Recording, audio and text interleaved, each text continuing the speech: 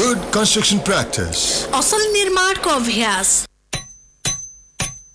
Right यो जेसिपी good construction practice अर्थात् असल निर्माण अभ्यास यस कार्यक्रमको चौथो एपिसोडमा छ हाम्रो लक्ष्मी फोर्थ एपिसोडमा पनि हाम्रो प्यानल राखेका थियौँ हामीले some what loose panel we like to call it strict panel panel in that sense र हामीले यो असल निर्माण अभ्यास सम्बन्धी केही कुराहरू जान्ने प्रयासमा लागिरहेका छौँ। कि कसो?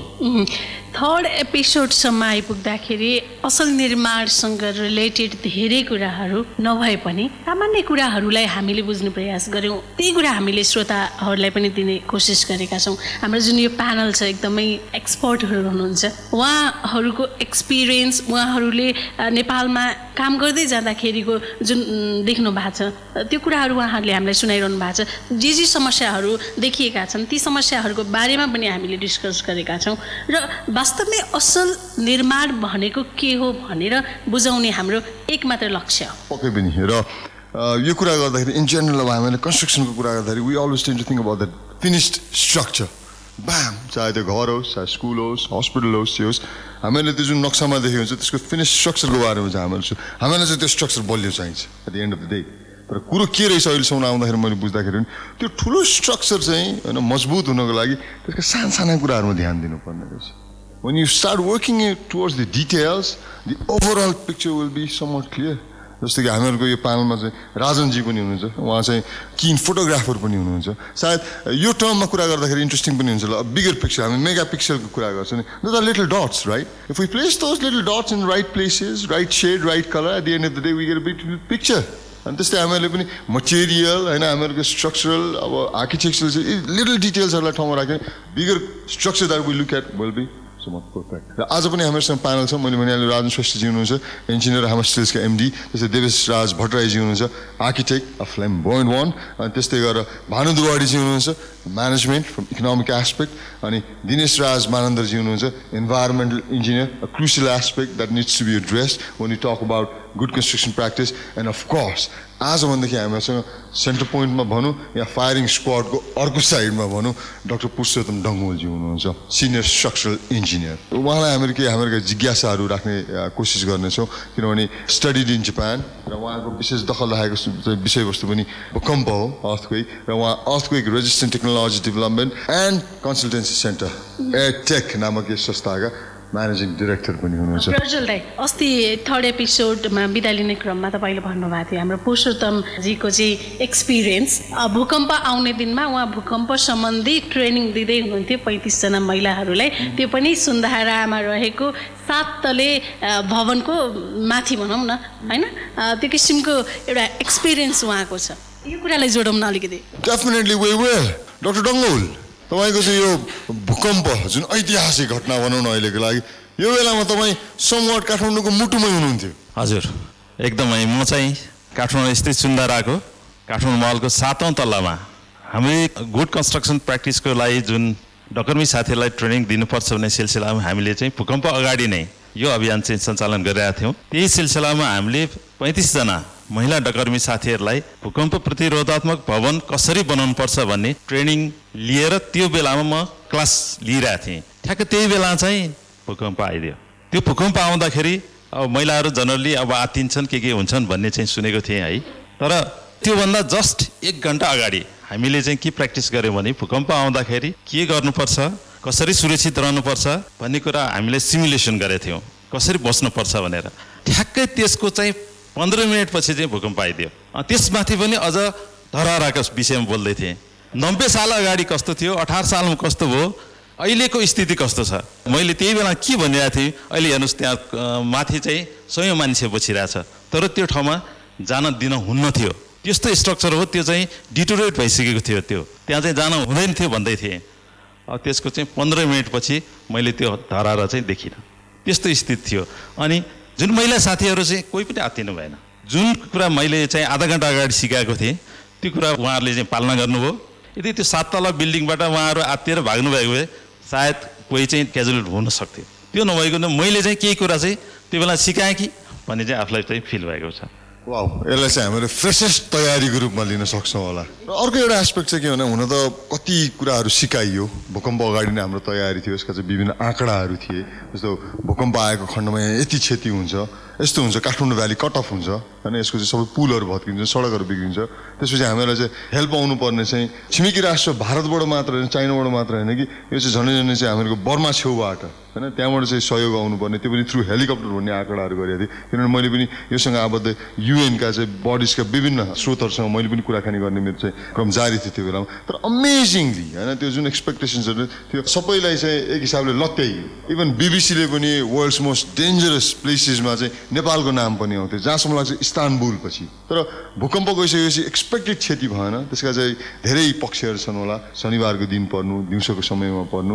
र त्योभन्दा नि अर्को के भन्दाखेरि जुन हिसाबको हामीहरू तयारीमा छैनौँ कि भन्ने अड्कलबाजी थियो नि त्यो पनि होइन रहेछ भन्ने चिज पनि डक्टर डङ्गलको चाहिँ छेडले पनि त्यो बतायो किनभने सात तल्ला माथि हुनुहुन्थ्यो एन्ड स्टिल विथ अस तर अर्को एस्पेक्ट हेर्नु भने कतिपय तयारीका चाहिँ मोडहरू जुन थिए भैँचालो आएको खण्डमा टेबल मुनि छिर्नु र कहाँ बस्नु होइन नभाग्नु भनेको जस्तो कुराहरू कतिजना बाहिर भएकाहरू पनि आएर टेबल मुनि लुके अरे भने जस्ता कुराहरू पनि सुन्यौँ। र काठमाडौँको हकमा चाहिँ कतिजना चाहिँ भागेर होइन थानामाथि गएर पनि बसेका छन्।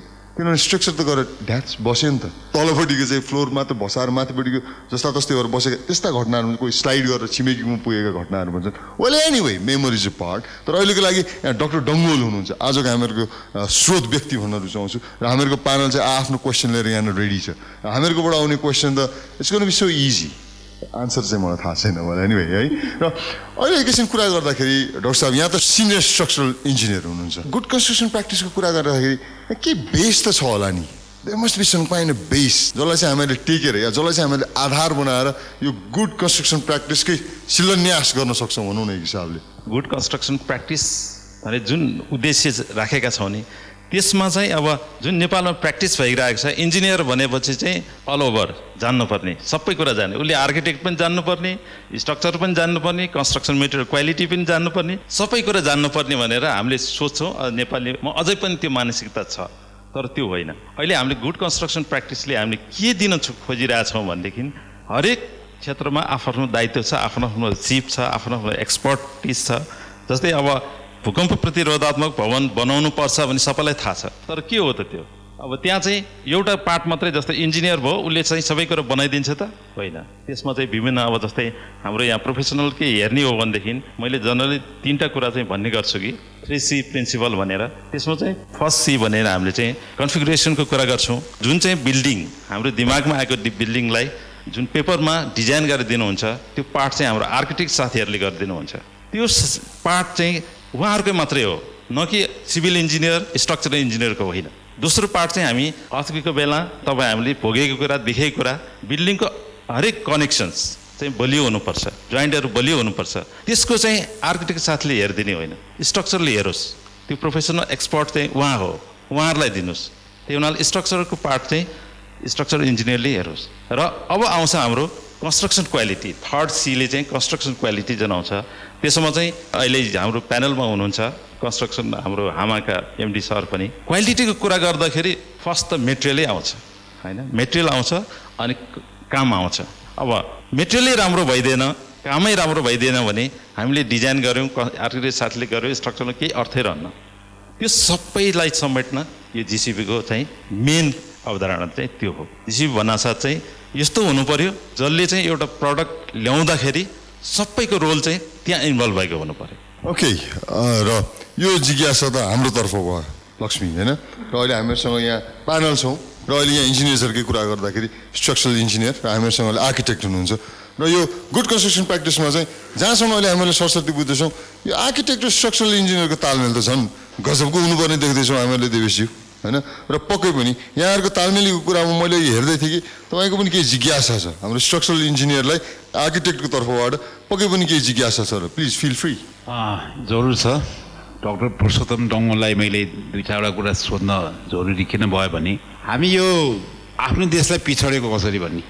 सबभन्दा एउटा के छ भने नेपालको जुन इकोनोमिक कन्डिसन छ त्यसले कतिपय चिजहरूमा हामीले चाहिएका म्यान पावरहरू नपाउन सक्छौँ। अवश्य पनि हामी यो काठमाडौँ जस्तो सुविधा सम्पन्न सहरमा बस्दाखेरि नेपालको सदरमुकाममा अथवा अहिले फेडरल स्टेटको प्रोभिन्स ठुल्ठुलो जुन सदरमुकाममा हामीले यो सर्भिसहरू पाइरहन सक्छौँ।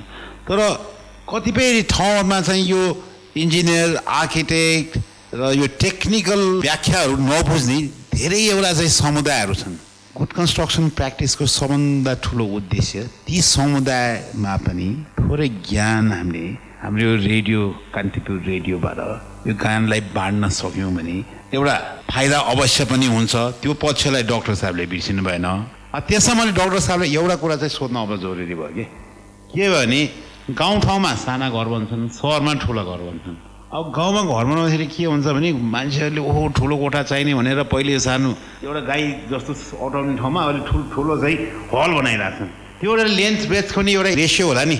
उहाँहरू सामान्य व्यक्तिले एउटा नेपालको रुरल एरियामा बस्ने मान्छेले घर बनाउँदाखेरि के गर्नुपर्छ? त्यो ठाउँमा र हामी सोधा डक्टर साहबको के? हस् धन्यवाद दिवेशजी एकदम राम्रो कुरा उठाउनु भयो तपाईँले। मैले अघि जुन कुरा गरिरहेको थिएँ त्यो चाहिँ प्रोफेसनल इन्जिनियर बिल्डिङको लागि कुरा गरेँ। अब तपाईँले जुन फोकस गाउँघरकामा जसले चाहिँ त्यो नक्सा भन्दै नै बुझ्दैनन् त्यस्तोको लागि के गर्ने? लामो लामो घर बनिरहेछ। अब अर्थको हेर्ने भने अधिकांश स्कुलहरू लामो स्कुलहरू बनिरहेछन् भत्केकै छ कि? हाम्रो लम्बाइ र चौडाइको रेसियो चाहिँ कति हुनुपर्छ? हाइटको रेसियो कति हुनुपर्छ भने त्यो चाहिँ अहिलेको जुन प्र्याक्टिसमा हाम्रो भवन संहिताले के भन्छ भने लम्बाइ चाहिँ चौडाइको तिन गुणा भन्दा बढी हुनु हुँदैन। र हाइट पनि चौडाइको तिन गुणा बढी गर्नु हुँदैन। त्यही भएर लामो लामो घर बनाउनुहुन्न यदि चौडाइ छ भने त्यसको तिन गुणासम्म मात्रै बनाउनुहोस् त्योभन्दा घटी बनाउनुहोस् त्योभन्दा बढी चाहिँ नबनाउनुहोस्। हाइट पनि त्यसै गरेर चौडाइ जति छ त्यसको चाहिँ तिन गुणा मात्रै हाइट बनाउनुहोस् त्यो भन्दा बढी हुनासाथ के हुन्छ भने भूकम्पले क्षति पुऱ्याउने सम्भावना धेरै हुन्छ। त्यसरी चाहिँ हामीले चाहिँ बुझ्न सक्छौँ। राइट अहिलेको लागि यो कुराकानीलाई एकैछिन यहीँनिर हामीहरू पज गरौँ लक्ष्मी किनभने एउटा छोटो ब्रेक लिने बेला भएको छ कार्यक्रम गुड कन्स्ट्रक्सन प्र्याक्टिसमा र त्यसपछि हामीहरू डक्टर पुरुषोत्तम डङ्गोलज्यूलाई थप जिज्ञासाहरू राख्ने नै छौँ। विभिन्न एस्पेक्टबाट हामीसँग इकोनोमिस्ट हुनुहुन्छ त्यसै गरी इन्भाइरोमेन्टल इन्जिनियर हुनुहुन्छ and of course from manufacture side as well र आर्किटेक्टको पोइन्ट अफ भ्यूबाट त उहाँहरूको यो टेक्निकलिटिजको क्वेसन्सहरू पनि आइहाल्यो। नट टु टेक्निकल दो होइन? हामीहरूले चाहिँ बुझ्न सकिरहेका छौँ र अहिले हामीहरू ग्रामीण परिवेशका केही कुराकानी गर्दैछौँ। सायद सहरतिर पनि आउँछौँ होला एकैछिनपछि। हाम्रो दिवेशजीले उठाउनु भएको कुरालाई अलिकति ग्रामीण परिवेशमा कस्तो खालको घर बनाउने के कसरी भन्ने कुराहरूलाई जोडिरहेका छौँ। यो कुरालाई अलिकति थाती राख्दै अहिलेलाई भने हामी व्यापारिक विश्रामतर्फ लाग्दैछौँ। गुड कन्स्ट्रक्सन प्र्याक्टिस असल निर्माणको अभ्यास। पुनः स्वागत छ तपाईँलाई? गुड कन्स्ट्रक्सन प्र्याक्टिस अर्थात् असल निर्माणको अभ्यास। यो कार्यक्रममा साथ दिइराख्नु भएको छ। रेडियो कान्तिपुर रेडियो राष्ट्रको तरङ्ग मार्फत र यो एउटा माध्यम हो रेडियोको। हिसाबमा कुराकानी गर्दाखेरि तर अरू युट्युब त्यस्तै गरेर फेसबुक पेजमा पनि तपाईँहरूले पछ्याउन सक्नुहुनेछ यो गुड कन्स्ट्रक्सन प्र्याक्टिसलाई र यसको बारेमा चाहिँ हामीहरू आउँदा कार्यक्रमहरूमा थप जानकारी दिने नै छौँ। वे स्टिल बिल्डिङ अप भनेर र लक्ष्मी अब आज हामीहरूको स्रोत व्यक्तित्व भन्न रुचाउँछौँ अहिलेको लागि doctor Purushottam Dangol senior structural engineer हुनुहुन्छ। उहाँलाई हामीले विभिन्न एस्पेक्टका हामीहरूका जिज्ञासाहरू राखिरहेका छौँ। है ब्रेकभन्दा अगाडि आर्किटेक्ट देवेश राज भट्टराईज्यूले आफ्नो पक्षको चाहिँ जिज्ञासा राख्नुभयो। अहिले जहाँसम्म लाग्छ तिमी हाम्रो भानु दवाडीज्यू तर्फ चाहिँ लाग्न चाहिरहेछौ। पक्कै पनि ब्रेकभन्दा अगाडि हाम्रो देवेशजीले उठाउनु भएको कुरा हो। गाउँघरमा कस्तो किसिमको स्ट्रक्चरमा चाहिँ घरहरू बनाउने भन्ने कुरामा यसमा पुरुषोत्तमज्यूले पनि आफ्नो भ्यू राखिहाल्नुभयो। भानुजी तपाईँको केही क्वेसन छ हाम्रो पुरुषोत्तमज्यूलाई एज अ भनौँ न इकोनोमिक्स आस्पेक्टबाट हेर्दाखेरि पनि कस्तो मटेरियल कति कस्टको मटेरियल अनि त्यो एउटा के हुन्छ लिङ्क के हुन्छ त्यो कोअर्डिनेसन कसरी गर्न सकिन्छ यो कुरालाई तपाईँले कसरी राख्नुहुन्छ उहाँसँग? अवश्य यो गुड कन्स्ट्रक्सन प्र्याक्टिसेस के हो भनेर त हामीले भनिसक्यौँ। अब त्यसलाई गुड बनाउनलाई चाहिने सबै अवयवहरू ती कम्पोनेन्ट्सहरूको बारेमा अघि डक्टर साहबले पनि भनिसक्नुभयो। अब त्यो गुड बनाउनलाई चाहिने कन्फिग्रेसनलाई चाहिने अब आर्किटेक्ट हायर गर्नु पनि कस्ट लाग्ने भयो। स्ट्रक्चर इन्जिनियर कहाँ जान पनि कस्ट लाग्ने भयो। त्यस पछाडि मटेरियल ल्याउनलाई पनि कस्ट लाग्ने भयो। त्यसैले एउटा पर्सेप्सन छ डक्टर साहब हामीले यो गुड कन्स्ट्रक्सन प्रमोट गर्दाखेरि धेरै मान्छेसँग पनि इन्टरेक्सन गर्दाखेरि एउटा पर्सेप्सन छ। इन्जिनियर्ड घर बनाउनु सुरक्षित घर बनाउनु चाहिँ धेरै महँगो हुन्छ। नेपालीको औकातभन्दा बाहिरको कुरा हुन्छ भन्ने जुन पर्सेप्सन त्यसलाई कसरी हामीले ह्यान्डल गर्ने?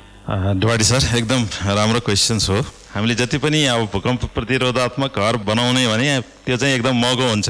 यो सय वर्षमा एकचोटि आउने हो। सय वर्षमा आफू बाँचिन्छ कि बाँचिँदैन त्यतापट्टि चाहिँ हामी ध्यानै नदिउँ भन्ने कन्सेप्ट जुन थियो त्यो चाहिँ होइन। किनभने भूकम्प प्रतिरोधात्मक बनाउनलाई महँगै पैसा हालेर भवन बनाउनु पर्छ भन्ने छैन। मैले अब सिन्धुपाल्चोक गोर्खा सबै ठाउँमा घुमेको छु गाउँ गाउँमा गएको छु ट्रेनिङहरू दिएको छु। त्यहाँ भएको लोकल मेटेरियल्स जस्तै ढुङ्गा इँटा माटो त्यहाँको काठहरू प्रयोग गरेर पनि एकदम कम कस्टमा भूकम्प प्रतिरोधात्मक घर चाहिँ उहाँहरू आफ्नै सिपले लोकली एभाइलेबल मेटेरियल युज गरेर गर्न सक्छौँ। त्यो पनि कस्टै लाग्दैन। त्यो लोकल मेटेरियललाई कसरी मिलाउने हो? जहाँ चाहिँ भूकम्पले असर गर्छ त्यो ठाउँ चाहिँ कसरी ढुङ्गा मिलाउने कसरी हाम्रो काठहरूलाई मिलाएर राखिदिने जसले गर्दा भूकम्प आउँदाखेरि भूकम्पबाट दिने धक्कालाई चाहिँ उसले चाहिँ ठेक्न सक्छ। त्यही हुनाले भूकम्प प्रतिरोधात्मक बनाउनलाई कस्टको कुरा मात्रै पनि होइन मेटेरियलको कुरा मात्रै पनि होइन। त्यो चाहिँ जुनसुकै मेटेरियल पनि सही तरिकाले प्रयोग गरिदिनु पर्यो। जति पनि मैले यहाँ भूकम्प जाँदाखेरि गाउँघरमा स्कुलहरू देखेँ नि अब ढुङ्गा त प्रयोग गर्ने भन्यो सानो सानो ढुङ्गा खोजेर प्रयोग गर्छन्। अब हामी जनजनले हामी कैँची ढुङ्गाहरू जसले गर्दाखेरि भूकम्पको धक्कालाई असर गर्छ त्यसले चाहिँ रोक्ने काम गर्छ। त्यस्तो कुराहरू मात्रै सानोतिनो हाम्रो गाउँघरका डगर्मी साथीहरूलाई सिकाउनु पाए पनि अहिले जति क्षति भयो त्यति न्यून हुन्थ्यो त्यो चाहिँ पैसै लाग्दैन। पैसा महँगो भनेको होइन कि पैसै लाग्दैन कि त्यसलाई। बनाउनु मात्रै पर्यो त्यो चिज चाहिँ सही ठाउँमा चाहिँ सही तरिकाले प्रयोग गरिदिन मात्रै पर्यो। ओके कार्यक्रम जिसिपी गुड कन्स्ट्रक्सन प्र्याक्टिसमा विभिन्न पक्षमा आबद्ध professionally architect of course engineers and म्यानेजर्सहरूले आजको हाम्रो स्रोत व्यक्ति डक्टर पुरुषोत्तम डङ्गो उहाँ सिनियर स्ट्रक्चरल इन्जिनियर हुनुहुन्छ उहाँलाई क्वेसन्सहरू राख्दै हुनुहुन्छ आफ्नो पक्षबाट र अर्को एउटा क्रुसियल पक्षमा आइपुगेको छ द्याट इज इन्भाइरोमेन्टल एस्पेक्ट यो विधा सम्हालेर अहिलेको लागि बसिराख्नु भएको छ दिनेश राज मानन्दज्यू इन्भाइरोमेन्टल इन्जिनियर पक्कै पनि तपाईँको पनि केही जिज्ञासा छ होला हस् धन्यवाद अ, म चाहिँ अलि अब यो अघि जुन हामी कुरा गरिरहेछौँ होइन यो एनजिओस र आम मानिसमा के फरक छ होइन? अथवा उनीहरूले चाहिँ हाम्रो एनजिओएसको बुझाइ के हो? यो टिमवर्क अघि लक्ष्मीजीले पनि भन्नुभएको छ होइन? म त्यही परिप्रेक्ष्यमा चाहिँ डाक्टर डङ्गुलसँग अलिकति जिज्ञासा राख्न पनि चाहेँ। यसमा अब हामी जुन गुड कन्स्ट्रक्सन प्र्याक्टिसको कुरा गर्दाखेरि चाहिँ in any of the structures होइन हामी बिल्डिङ बनाउँदा के? हामी के भन्छौँ भन्दा उहाँले अघि थ्री सिज जुन भन्नुभयो त्यसमा बेसिकली हामी के हेर्छौँ भन्दा सेफ्टी होइन सुरक्षित हुनु पऱ्यो कम्फोर्ट सुविधायुक्त हुनु पऱ्यो एन्ड ब्युटी सुन्दरता। यो सबैमा नै हाम्रो यो गुड कन्स्ट्रक्सन प्र्याक्टिसेसको कुराहरू आउँछ रुरल कन्टेक्स्टमा यो जुन कुरा गर्नुभयो भने अब यसमा सेफ्टी भन्नाले अहिले स्ट्रक्चर्सको सेफ्टीको कुराहरू त छ मलाई अलिकति यहाँनिर चाहिँ यो इन्भाइरोमेन्ट पार्टको चाहिँ यो मटेरियलसँग जोड्न मन लागेको छ। हामीले रुरल एरियाजहरूमा चाहिँ हामीले जस्तै अब हामी अहिले जुन सहर बजारमा हामी यो कङ्क्रिटिङ होइन हामी आरसिसी स्ट्रक्चर्सहरू जुन युज गर्छौँ भनिरहेको छौँ होइन तर मटेरियल्सको कुरा गर्दाखेरि रुरल एरियामा हामीले चाहिँ धेरै स्ट्रक्चर्सहरू बनाउँदाखेरि चाहिँ जो इन्भाइरोमेन्टसँग ब्लेन्ड हुनु पऱ्यो बेसिकली चाहिँ इन्भाइरोमेन्टमा चाहिँ ब्लेन्ड हुनु वाट एभर स्ट्रक्चर्स होइन हामी सेफ्टीको कुरा गर्छौँ। त्यो मटेरियल हाम्रो मटेरियलको सोर्सिङको कुरा छ कि? How are we taking care of the environment है मटेरियल सोर्सिङको कुरा हामी बालुवा लिन्छौँ हामी बालुवाको खानीबाट। त्यहाँ हामीले इन्भाइरोमेन्ट पार्टहरू गरेको छौँ। मैले अस्तिको एपिसोडमा जुन यो इआइए होइन इन्भाइरोमेन्ट इम्प्याक्ट एसेसमेन्ट यी कुराहरू गऱ्यौँ भन्दाखेरि त्यो मटेरियल सोर्सिङको कुराहरू छ सेफ्टीको कुरा गर्दा हामीले इन्भाइरोमेन्ट सेफ्टी यो विषयमा चाहिँ मटेरियललाई अघि उहाँले थ्री सिजको कुरा गर्दाखेरि कन्स्ट्रक्सन क्वालिटीको कुरा गर्नुभयो नि। Construction quality when you do the construction ठिक छ quality of the materials environmental कन्सिडरेसनलाई लिएर चाहिँ डक्टर डङ्गोलको कन्स्ट्रक्सन क्वालिटीमा त्यो आस्पेक्टमा चाहिँ उहाँको अलिकति जिज्ञासा मलाई सुन्न मन लागेको छ। हस् धन्यवाद। मैले भने नि भूकम्प प्रतिरोधात्मक भवन बनाउनु पर्छ भन्ने कुरामा चाहिँ मेन रोलहरू त्यहाँ कन्स्ट्रक्सन कामै हो अर्को चाहिँ मेटेरियल अब मेटेरियल्सहरू चाहिँ जस्तै अहिले जनरली हामीले गाउँघरमा प्रयोग गर्ने चाहिँ माटो बालुवा गिटी र ढुङ्गा इँटाको कुरा छ। अब हामीले चाहिँ अब इन्भाइरोमेन्टली त्यो कुरा पनि हेर्नुपर्छ। कुन सोर्स हो? जस्तै अहिले हाम्रो चाहिँ जुन बालुवाहरू सोर्सबाट लिइरहेको हुन्छौँ नि त्यसको क्वालिटी त हेर्नु पऱ्यो एक ठाउँमा छँदैछ। तर कस्तो ठाउँबाट हामी निकाल्छौँ भनेदेखि चाहिँ जहाँ चाहिँ पहिरो आउन सक्छ। जुन बालुवाहरूमा खानीबाट निकालिरहेको हुन्छौँ ढुङ्गा निकालिरहेको हुन्छौँ इन्भाइरोमेन्टली के इफेक्ट गर्छ भनेर हामी हेर्दैनौँ। त्यहाँ चाहिँ बालुवा छ भने पटापट खन्न थाल्छौँ। त्यसले चाहिँ बस्तीमा कसरी असर गर्छ त्यो स्टडी गरेर हुँदैनौँ त्यो पनि हामीले स्टडी गरेर मात्रै कन्स्ट्रक्सनको लागि चाहिने मेटेरियल चाहिँ निकाल्नु पऱ्यो त्यो सोर्सबाट लिनु पऱ्यो यदि इन्भाइरोमेन्टली चाहिँ त्यो ठाउँमा निकाल्न हुन्न अथवा त्यही लोकल एरियाको बस्तीलाई नै असर गर्छ भनेदेखि त्यो कन्स्ट्रक्सन मेटेरियल त्यहाँबाट निकाल्नु भएन सोर्स अर्कै ठाउँमा खोज्नु पऱ्यो त्यो चाहिँ हामीले चाहिँ एकदमै विचार गर्नुपर्ने। अब त्यो सोर्स निकाल्दाखेरि भूकम्पको हिसाबमा पनि तपाईँले देख्नु भएको पनि हो यसपालिको अर्थमा होइन। धेरै चाहिँ पहिरोहरू गयो। अब त्यसलाई चाहिँ अझ टेवा पुऱ्याउँछ। त्यो कस इन्भाइरोमेन्टली कन्सिडर नगरिकन निकालेको चिजहरूबाट चाहिँ भोलि चाहिँ आउने भूकम्पलाई पनि एउटा चाहिँ ड्यामेज हुने ठाउँ त्यो बस्तीलाई नै असर गर्ने ठाउँ चाहिँ त्यो सानो सोर्स निकालेर हामीले कन्स्ट्रक्सन मेटेरियल लिन्छौँ नि त्यसले नै ठुलो असर गर्न सक्छ। त्यसमा चाहिँ विशेष गरी ध्यान दिनुपर्ने हुन्छ। मेटेरियलहरू लिँदाखेरि इन्भाइरोमेन्टलको एस्पेक्टमा चाहिँ हेरेर मात्रै गर्नुपर्ने हुन्छ। थ्याङ्क यू भेरी मच र आज जहाँसम्म लाग्छ लक्ष्मी समयले यति मात्रै चाहिँ हामीहरूलाई साथ दियो। र आज स्ट्रक्चरल इन्जिनियरलाई हामीहरूले सेन्टर स्टेजमा राखेर कुराकानी गर्दाखेरि मलाई चाहिँ त्यो स्ट्रक्चरहरूको याद आइरहेको थियो क्या। जुन चाहिँ हामीले काठमाडौँको फ्रिन्जेसहरूमा देख्न सक्छौँ होइन? स्पेसली काठ एरियाहरूमा त्यस्तै गरेर चाहिँ भालीबाट बाहिर तत्काल बाहिर जाने बित्तिकै सबब एरियाहरूमा भनौँ न ढङ्गले घरहरू छन् कि। अनि कहिले काहीँ चाहिँ मलाई लाग्छ म यसो सोच्छु। हो यत्रो ठुलो घरमा मान्छेहरू के दिनै पछि बेडरुम चेन्ज गर्छ नि कि अब जस्तो लाग्छ मलाई। अनि त्यो चाहिँ मलाई जहाँसम्म लाग्छ कतिपय अवस्थामा that's not just the house that's the statement in a way financial statement C होइन त्यस्ता पक्षहरूको बारेमा पनि हामीहरू फ्युचरमा कुराकानी गर्छ। किनभने त्यो पनि प्र्याक्टिकलिटीका एस्पेक्ट्सहरू होला नि। यसले पनि जस्तो डक्टर डङ्गोलले भन्नुभयो नि। होइन हामीहरूले एउटा चिजलाई बलियो बनाउँदा अर्को चिजलाई कमजोर बनाउनु पाइँदैन। चाहे त्यो इन्भाइरोमेन्टल किन नहोस् चाहे त्यो आर्थिक किन नहोस् स्वास्थ्यको हिसाबले किन नहोस् विभिन्न तौरबाट एउटा चिजमा हामीहरूले चाहिँ जोड दिएर त्यसलाई बलियो बनाउनु लाग्दाखेरि अर्कोतिर चाहिँ कमजोरीहरू र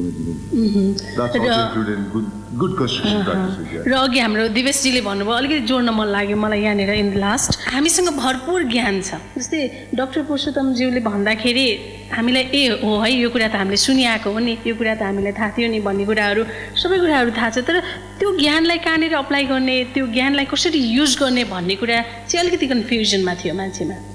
इभन छ र यो बाटो देखाउने प्रयास स्वरूप यो एउटा रेडियो कार्यक्रम पनि हो। गुड कन्स्ट्रक्सन प्र्याक्टिस जहाँ चाहिँ हामीले ज्ञानलाई किताबमा मात्र सीमित हुन दिने होइन। यदि साँच्ची के हुन्छ नि ज्ञानले मात्र यो संसार रुल गर्ने हुँदा आज कम्प्युटर र किताबले गर्थ्यो होला। तर त्यो ज्ञानलाई व्यवहारमा उतारेपछि नै मान्छेले यो संसार चलाइरहेछ। र यो एउटा प्रयास पनि हामीहरूको ज्ञानलाई व्यवहारमा उताउने। ताकि गुड कन्स्ट्रक्सन प्र्याक्टिसले साँच्चीकै जरो गाड्न थालोस्। एनिवे अहिलेको लागि लक्ष्मी आफ्नो बाटो लाग्ने बेला भयो। र आज हामीहरूसँग प्यानलमा हुनुहुन्थ्यो। देवेश राज भट्टराईज्यू भानु दवाडीज्यू दिनेश राज मानन्दरज्यू अनि doctor Purushottam Dangol of course senior structural manager उहाँलाई हामीहरूले चाहिँ सेन्टर स्टेजमा राख्यौँ। र यो सबै काम कार्यलाई चाहिँ हामीसँगै बसेर हेर्दै हुनुहुन्थ्यो राजन श्रेष्ठज्यूले। हाम्रो स्टेजका कस किन आइज र मलाई जहाँसम्म लाग्छ अर्को एपिसोडको लागि के मेटेरियल ग्यादर गर्दै हुनुहुन्थ्यो उहाँले। पक्कै पनि र अर्को एपिसोडमा फिफ्थ एपिसोडमा हामी अझै असल निर्माणका विषयमा धेरै कुराहरू हाम्रो श्रोतामाझ ल्याउने प्रयास गर्नेछौँ। यो क्षेत्रसँग सम्बन्धित अन्य व्यक्तित्वहरूलाई हामी हाम्रो कार्यक्रममा जोड्दै लैजानेछौँ। डेफिनेटली अघि हाम्रो चाहिँ राजन श्रेष्ठज्यूले भन्नुभएको जस्तो will go deeper and deeper and deeper र अहिलेको लागि भनेदेखि I think it's time we take leave thank you very much